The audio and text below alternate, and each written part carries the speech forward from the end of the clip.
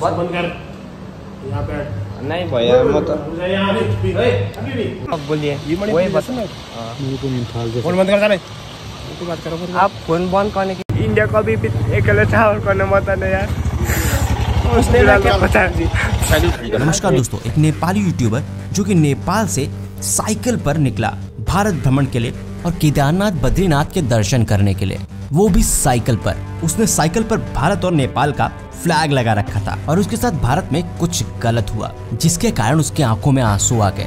इनको लेकर मशहूर कॉमेडियन भारती ने भी एक रिएक्शन दिया। देख रही थी एक लड़का है जो नेपाल से आया है जो साइकिल पे आई थिंक यात्रा कर रहा है। ये देखिए। तो चलिए हम देखते हैं कि क्या इस नेपाली लड़के के साथ बुरा हुआ भारत में। और ऐसा नहीं होना चाहिए था। तो जितनी वीडियो उस नेपाली बॉय ने डाल रखी थी उससे हम लोग को पूरी पिक्चर एक तरह से दिखती है और इसका हम अंदाज़ा लगा सकते हैं कि वो अपनी साइकिल से घूम रहा था। फिर उसने कहीं पर खाना खाया एक होटल में और उस होटल वाले के साथ एक कन्वर्सेशन होती है। नेपाल के उस 21 साल के राइडर को उन होटल वाले भैया ने पशुपतिनाथ के दर्शन पर बात की। आप खुद सुनिए। ना पशुपतिनाथ में दर्शन किया है पर वो नहीं पता दर्शन किया है। मतलब आप कहना क्या कैसे कैसे दर्शन किया मतलब क्या किया आपने मतलब और ये दर्शन मन से करते हैं मतलब कैसे करेंगे उस- उसके बाद पशुपतिनाथ में दर्शन किए। हम्म, कैसे दर्शन होते हैं पशुपतिनाथ में वो तो ना मालूम। आपको आप आप बद्रीनाथ दर्शन गए आप दर्शन किए ना? जी। पशुपतिनाथ में चौमुखी दर्शन होते हैं। अच्छा, पाँच अच्छा। मुखी होते हैं चार मुखी होते हैं। अच्छा। आपको पता है? नहीं पता। आप कह रहे हैं दर्शन किए वो तो वो तो नहीं पता। आप सब बंद कर। यहाँ बैठ। आप बंद कर। यहाँ बैठ। और इस क्लिप में आप देख सकते हैं वो सडन से ही गुस्से भरे टोन में बोलता है और बोलता है इसको बंद कर और यहाँ बैठ जो कि काफ़ी धमकी भरे लहजे में लगता है। अब इससे वो 21 साल का नेपाली युवक थोड़ा डर सा जाता है और इतनी छोटी उम्र में शायद कोई भी डर जाए जबकि वो अकेले ट्रेवल कर रहा हो। इसीलिए वो वहाँ से जाने को बोलता है लेकिन फिर उसको बुलाया जाता है ओए इधर आ। और बैठने के लिए बोला जाता है कंटिन्यूसली नहीं भैया मैं प्यार से बताया ना। जी जी जी। खाना भी दिया आपने। अब इस पूरे सिनेरियो में इस आदमी का टोन काफ़ी गलत लगता है जो कि धमकी भरा लगता है। ये आदमी किसी को फोर्स नहीं कर सकता कि वो यहाँ पर आकर बैठे। ये तो किसी के साथ भी ज़बरदस्ती है। हालाँकि इस आदमी की ये प्रॉपर्टी थी जहाँ पर रिकॉर्डिंग के लिए वो मना कर सकता था। पर यहाँ पर कंसर्न ये थे कि 21 साल के उस नेपाली लड़के के लिए ये शायद और ज़्यादा डरावना भी हो जाता। क्योंकि अगर ये रिकॉर्डिंग नहीं चलती तो उसके साथ कुछ भी हो सकता था। और अगर इस ओनर को सच में रिकॉर्डिंग से पहले ही नॉर्मल प्रॉब्लम होती तो इसने पहले ही अपनी प्लेस पे लिख के लगा दिया होता you can't record at my place यहाँ पर देखने को ये मिलता है कि वो प्रॉपर बात करता है नेपाली लड़के से और उसके बाद जब उसको कुछ अनफेवरेबल बोलना होता है उस लड़के को, तब वो कैमरे की तरफ़ देखता है और बोलता है, कैमरा बंद कर। तो यहाँ पर साफ़ था कि इस- आदमी को कैमरे से डर लगा जब वो गलत तरीके से नफरती अंदाज में बोल रहा था। और शायद अगर कैमरा ऑन ना होता तो उसकी पूरी ही टोन चेंज होती। साथ ही साथ लड़के के पास भी कोई प्रूफ नहीं होता। चलिए उसके बाद का इंसिडेंट देखते हैं। हाँ आपको चाहिए क्या? आप बोलिए। वही है। हाँ। फ़ोन बंद कर साले। तो बात करो फिर। आप फ़ोन बंद करने के क्यों बोल रहे हैं भैया? मैं फ़ोन क्यों बंद करूँ? भाई मैं तेरे यहाँ पर इस लड़के ने इस प्रॉपर्टी को छोड़ दिया और बाहर निकल आया। लेकिन फिर भी ये लोग उसका पीछा नहीं छोड़ रहे थे। रोड पर आके इज़ फ्री टू रिकॉर्ड क्योंकि वो एक पब्लिक प्लेस पर है और वहाँ पर उसको रिकॉर्डिंग करने से शायद ही कोई रोक सकता है। पर फिर भी ये आदमी आता है फिर बोलता है गलत टोन में गलत तरीके से फ़ोन बंद कर क्योंकि वो लड़का फ़ोन पर रिकॉर्डिंग कर रहा होता है। इवन जब वो पब्लिक प्लेस पर एक रोड पर है तब उसका कैमरा बंद करवाने की कोशिश करता है। लेकिन वो लड़का समझदार था। उसने फ़ोन बंद नहीं किया और कहा कि भैया मैं फ़ोन बंद क्यों करूँ? तो अपनी ओरिजिनल आईडी दिखा दे कुछ अरे भैया मैं मोबाइल में दिखा रहा हूँ ना आपको मैं ओरिजिनल कहाँ ले मैं ट्रैवल कर रहा हूँ अगर हम तेरे से कोई खाना खिलाए। हाँ। खिलाए? हाँ, किया? ना ना ना। खाना वाने खिलाए? आपको हम कह रहे आप?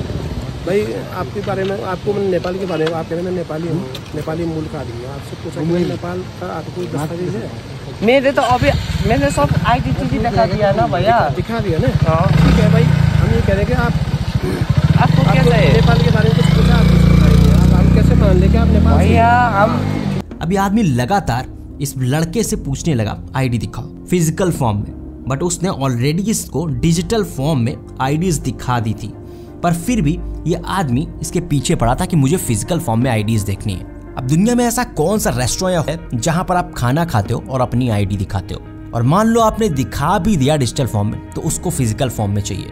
और ये शख्स जो कि होटल चला रहा है, दिमाग में गोबर बनाए बात करने का ढंग नहीं है, उसको आईडी कोई क्यों दिखाए? लेकिन चलो मान लेते हैं कि इस आदमी को बाई चांस ये लड़का एक सस्पिशियस लड़का लगता है। तो भाई तुम इंट्रोगेट करने वाले और प्रेशर डालने वाले होते कौन हो? Who the hell are you to check IDs ये काम पुलिस का है सिक्योरिटीज का है। आप खुद कोई अथॉरिटी नहीं हो। आप किसी को मॉलेस्ट नहीं कर सकते, आप किसी के साथ ज़बरदस्ती नहीं कर सकते हो। और अगर आपको इतना ही कोई सस्पिशियस लगता है तो आप पुलिस को कॉल करो और उनको बुला के उन चीज़ों को क्लियर करो। पर इसके दिमाग में किस तरह का जहर भरा हुआ है? या कह लो गोबर भरा हुआ है, जो कि एक 21 साल के लड़के पर निकल रहा है अथॉरिटी दिखा रहा है, वो भी कोई लिमिट में नहीं। कि एक 21 साल का लड़का जो कि कैमरा लिए, लगातार व्लॉग बना रहा है, आपसे बात कर रहा है, सिर्फ़ साइकिल चला के आया है, साथ ही उसके पास सामान तक नहीं है, वो आपको सस्पिशियस लगता है। उधर वो उधर से बिलोंग करता है। आप क्या बोल रहे पशुपतिनाथ का दर्शन किया है। मुझे हॉस्पिटल दीजिए, मैं फ़ोटो भी दिखाऊँगा। फ़ोटो ये तो कह रहा है आपके फ़ोन में गैलरी में तो आपको गैलरी में तो नहीं है ना पर मैंने वो फ़ोटो खींचेगा मेरे फ़ोन है मैं फ़ोटो खींचूँगा तो गैलरी में होगा भैया मेरा चोरी हो गया मोबाइल आप यूट्यूब में देखना मेरा यूपी में अभी अभी चोरी हो गया मोबाइल। ठीक है वो आपका नेट है मैं दिखा दूँगा। मेरे क्यों दिखा रहा है? आपने उसमें दिखाना है मेरे मैं इस तो ये आदमी इस लड़के से बोलता है कि फ़ोटो दिखा पशुपतिनाथ की। लड़का बोलता है कि आप अपने फ़ोन पर देख सकते हो क्योंकि वो यूट्यूब पर वीडियोस डालता है। लेकिन वो आदमी तैयार नहीं होता अपने फ़ोन पर देखने के लिए। वो कहता है, तू जिस फ़ोन से रिकॉर्डिंग कर रहा है, उस फ़ोन पे दिखा। अपनी गैलरी से फ़ोटो दिखा। अब वो पशुपति नाथ कब गया हो और उसने फ़ोन पर रखी हो या फ़ोटो या नहीं रखी हो? लेकिन वो उसका जवाब देता है कि उसके पास जो फ़ोन था पुराना, वो उसका खो चुका है। तो उसके पास करंटली वो फ़ोटोज़ नहीं है गैलरीज में। लेकिन वो इस चीज़ को मना नहीं करता। वो कहता है कि आप देख सकते हो ऑनलाइन लेकिन फिर भी वो शख्स को बहुत चिल लगी होती है कि उसको उसके फ़ोन में देखनी है, जिससे वो रिकॉर्डिंग कर रहा है। और वो आदमी बार बार कैमरे में बहुत डिस्कम्फर्ट होकर देखता है, जैसे कि उसको कैमरा बंद करवाना है। तो लड़का समझदार था, उसने अपना फ़ोन बंद नहीं किया। ये शख्स होता कौन है? दूसरे की फ़ोटोज़ देखने वाला। इस आदमी को अगर कल को कहा जाए कि अपने घर परिवार की फ़ोटोज़ दिखाओ तो क्या ये दिखाएगा किसी रैंडम रोड पर चलने वाले को? नहीं दिखाएगा। क्या आप दिखाओगे? कभी नहीं दिखाओगे। तो who the hell are you to ask it आपने आईडीज देख ली फेयर इनफ लेकिन आप गलत तरीके से बात नहीं कर सकते। आप किसी के ऊपर प्रेशर नहीं क्रिएट कर सकते। वो 21 साल का लड़का काफ़ी ज़्यादा डर गया इस चीज़ से। और यही रोड पर ये कन्वर्सेशन थोड़ी सी खत्म होती है और लड़के से वो आदमी बोलता है कि पुलिस को बुला रहा हूँ। फिर वो लड़का उसकी शॉप के पास जाता है, क्योंकि ये इसको लेके ही जाता है और बोलता है कि पुलिस को कॉल करेंगे। फिर इसका कैमरा बंद करवा दिया जाता है। तो यहाँ के बाद कोई फुटेज नहीं है और ये वेट करता है, पुलिस नहीं आती है। ये लड़का एग्री रहता है कि पुलिस को बुला लो लेकिन ये लोग ही नहीं बुलाते। वो पुलिस और को अगर बुला बुलाते हैं तो मुझे नहीं पता पुलिस लेकिन आती नहीं है ना, पर। जितना डिटेल उस लड़के ने दिया। तो वो लड़का फिर वहाँ से साइकिल ड्राइव करके नीचे जाता है और उसकी आँखों में लगातार आँसू रहते हैं। आसपास के लोग उसको देखते हैं। फिर वो अपनी इस बात को लोगों को बताता है जिसके बाद लोग उसका सपोर्ट करते हैं। बहुत सारे लोगों ने अपनी गाड़ियाँ रोकी और जो कॉमन लोग थे उन्होंने हेल्प की। फिर वहाँ पर लेटरली पुलिस को बुलाया जाता है। और पुलिस आती है पूरी बातें होती हैं कि उसके साथ क्या हुआ अपने साथ जो भी हुआ वो पूरा उस पुलिस मैन को वो बताता है। और उसके बाद पुलिस मैन उसको पूरी तरीके से सपोर्ट करता है। आप खुद ही देखिए। कहाँ पे? यही पास में। कहाँ पे यही पास में उसके बाद हाँ। चाय पि- पिलाने के लिए रुका मैं राइट में था? उसके बाद मुझे खाना भी खिलाया। मैंने? मैंने सुबह से कुछ भी नहीं खाया था। दारू पी रखी उसने? दारू तो नहीं पिया था मुझे नहीं पता। होटल है? हाँ होटल है। किस चीज़ का? खाने का? उसके बाद ना वो मुझे बोल रहा था फेंके तू तू या इधर के लोकल को फेंके फेंक मतलब तू नेपाल का नहीं है मेरे पास सब कुछ था। डॉक्यूमेंट्स दिखा दिया और सब कुछ मैंने दिखा दिया। कितने दूर है यहाँ से? यहाँ पास में है मैं लेकर जाता हूँ। और उसके बाद ना उसने ना क्या जी। साइकिल खड़ी कर। साइकिल खड़ी कर। साइकिल साइकिल और वो पुलिसमैन इस लड़के को पुलिस स्टेशन में ही रखते हैं और उस आदमी को कॉल किया जाता है उसको बुलाया जाता है। उससे माफ़ी भी मंगवाई जाती है। और उससे एक फ़ाइन भी भराया जाता है, जैसा कहना था उस लड़के का और पुलिस के लोगों का। तो एट द एंड उस लड़के के साथ अच्छा ही हुआ। और मैं सैल्यूट करना चाहूँगा उत्तराखंड के पुलिस ऑफिसर्स का, जिन्होंने समय रहते और अच्छे तरीके से इस सिचुएशन को हैंडल किया। उस लड़के में वापस एक विश्वास दिलाया कि यू आर सेफ़ आपके साथ सारे ही लोग हैं। अगर एक आदमी खराब होता है तो बहुत सारे लोग अच्छे भी हैं। वो भैया थे ना उसने यहाँ आके गवाही भी दी माफ़ी भी मांगी। सब हमारे सर की वजह से थैंक यू सो मच और एक्शन दिया ना उसके खिलाफ जुर्माना। जुर्माना भी बढ़ा दिया। माफ़ी मांगी। माफ़ी भी मांग ली मुझसे और मुझे खुश भी हुआ सपोर्ट किया। गैस ना हर एक स्टेट में अच्छे भी होता है बुरे भी होता है सो कभी भी गिव अप मत लेना अपने जर्नी को कंटिन्यू करना। उस लड़के में वापस एक विश्वास दिलाया कि यू आर सेफ़ आपके साथ सारे ही लोग हैं। अगर एक आदमी खराब होता है तो बहुत सारे लोग अच्छे भी अच्छे भी हैं तो इसी जोश के साथ उस लड़के में एक बार फिर से विश्वास आता है। उस लड़के को पुलिस वाले ही जगह दिलवाते हैं रात गुजारने की और उसके बाद एज यूजल चीज़ें हो जाती हैं। दोस्तों इसको लेकर कॉमेडियन भारती ने भी एक वीडियो में अपना जवाब दिया था। जो कि आप लोग देख सकते हो। देख रही थी, एक लड़का है जो नेपाल से आया है, जो साइकिल पे आई थिंक यात्रा कर रहा है। ये देखिए, ये बोल रहा है कि भारत सेफ़ नहीं है, ऐसा नहीं है। तो मैं इस बच्चे को कह दूँ कि हर जगह पे दो प्रकार के लोग होते हैं, अच्छे भी और बुरे भी।